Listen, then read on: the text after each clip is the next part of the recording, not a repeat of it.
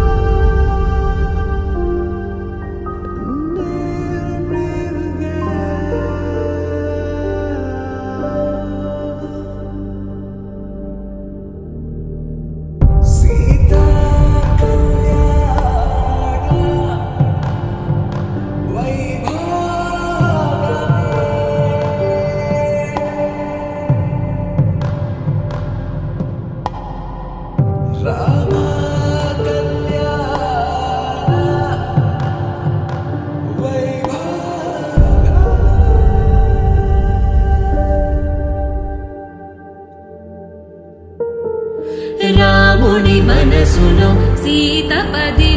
Janaki यदलो रामस्मरणमु Sita